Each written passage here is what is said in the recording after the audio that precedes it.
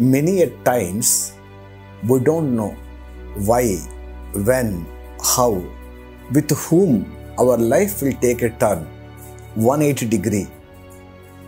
Absolutely, we have no clue. It was the year 2003. I was a squadron leader with the Indian Air Force. If only I would have continued being the President Plaque winner, being the topper in my course, having completed my staff college course, being the junior most officer, I would have been an air commodore equivalent to a brigadier today. But I happened to see a newspaper ad in Times of India. Witness unbelievable memory demonstration, evening 6 pm, Vivek Nagar in Bangalore.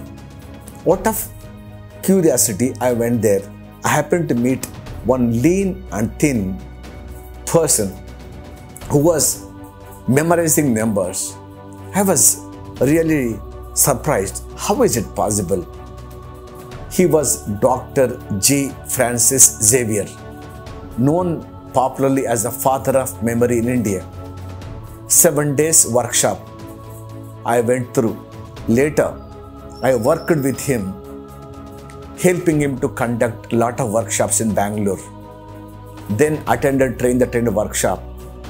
And over a period of time, I understood that my passion for speaking was much more than what I was doing. And then he told me, Jayasimha, if only you can take this as your main profession, maybe you'll be able to help lakhs of students in the country.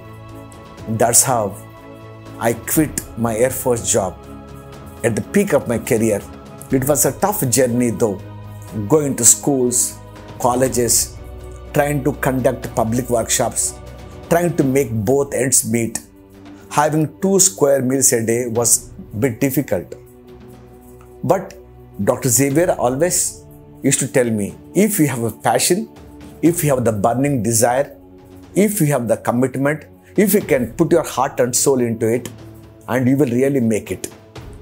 And those words always um, kept on ringing in my ears. And I continued my journey.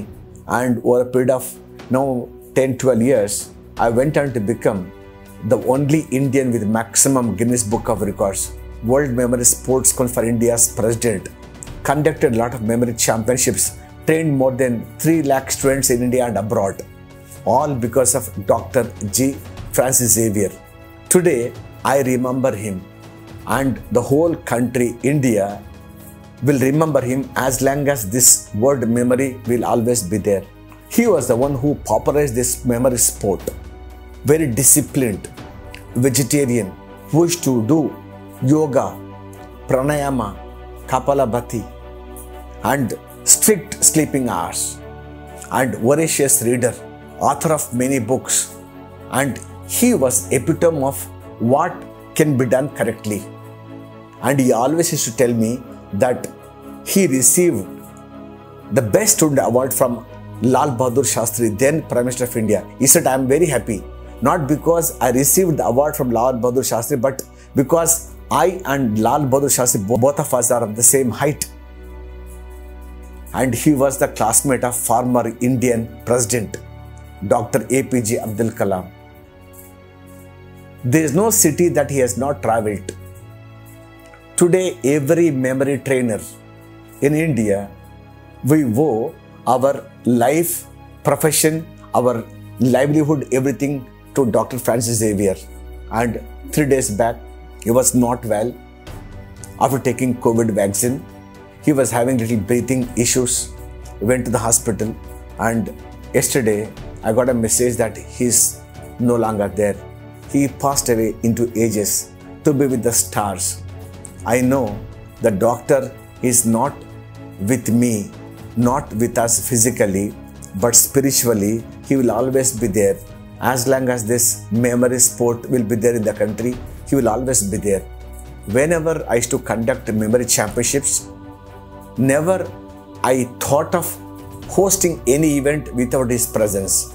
And he would say that I have trained many people, but you are one such rare gem.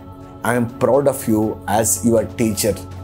And today I am feeling so sad that my doctor, my guru, my teacher, my mentor, and all the name and fame that you are listening to me right now, all because of him. But for him, I would have been an unknown person. And Dr. Xavier, at the age of 85, he left all of us. So I miss him a lot. And I'm sure all people who got trained by him are going to miss him. Only way we can pay our tribute to Dr. Xavier is by promoting memory sports in the country. Because he always dreamt of a you know, country of India with 1.4 billion people who are not only physically fit but also mentally alert. And he said, if you want to drive away Alzheimer's, dementia, forgetfulness, absent mindedness, if we want to have a fertile brain, we have to exercise our brain the way we exercise our body. And that's how he taught us visualization techniques. He taught us the phonetic method. He taught us memory filing system. And he, without holding anything in his heart, he gave away everything, including memorizing you know, calendar, how many books he had written, how many techniques that he had invented, how many places, how many countries that he had visited, how many people that he touched their lives. Totally selfless. A person who always dreamt of India being the intellectual capital of this world. And today, he is not with us physically. But those of you, of you who are watching this video, those of you who wanting to take this memory as a serious sport, and I'm sure he will always live in our hearts.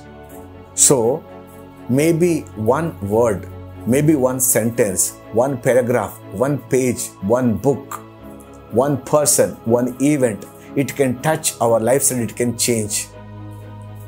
That's what Dr. Xavier has done to me. And whatever I am today, whatever I will be tomorrow, it's all because of him. I pay my respects and tributes to Dr. Xavier, and I'm sure his blessings will be with all of us forever, so that wherever he is, he will be very happily watching all of us promote this memory sport, practice his memory techniques, and flourish in our professional, personal, academic life. Now, that's the only way we can really pay our sincere gratitude to Dr. Xavier. So, the father of memory, the pioneer of memory in India, and I'm sure, sir, you will always be there with us, means even after us. Whenever the word memory will be spoken in India and in the whole world, I'm sure your name will always be there because you are so committed, so dedicated. You lived, you breathed memory throughout, and you are the true example for all of us. And thank you so much for showing us the path, the direction, and you gave a purpose to me. And I'm sure I'll be able to show a path to many people in the years to come. Thank you so much. And wherever you are, you always lived in peace. And I'm sure right now you will also will be resting in peace. But your blessing should always be there with us. And I'm sure not only me, but my fellow trainers, our students, and all the people whom you have touched, we all will be working like soldiers to take this memory movement across this country. And one day we shall fulfill your dream of making India being the intellectual capital of the world to showcase India's brain power to the world.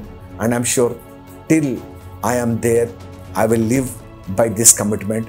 Thank you so much, sir. Grateful to you. Jai Hind. Bye bye.